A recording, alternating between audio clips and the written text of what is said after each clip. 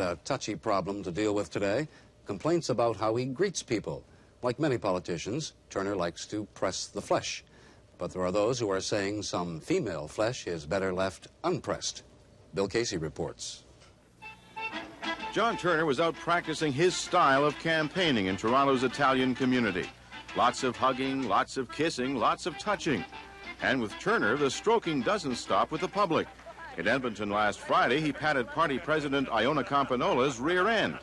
She patted his right back. That's known as mano a womano. you do. Okay, that's fair. That's fair. That's equal. That's equal. Yeah. You've been waiting some time to do that to me this time. No, I didn't expect. Campagnolo says she's found out since that Turner uses this locker room greeting with both women and men. And she says she's not offended. I am, I suppose, a little austere, and it seemed to me such a break with Mr. Trudeau's tradition. I don't know if it'll take the place of the rose and the kiss, but it certainly illustrates the differences. Turner greeted another Liberal female official with a tap on the bottom in Montreal yesterday. But today he brushed aside suggestions that patting female rear ends is out of date in 1984. I'm, I'm a very tactile politician. I, I slap a lot of shoulders, hug a lot of people.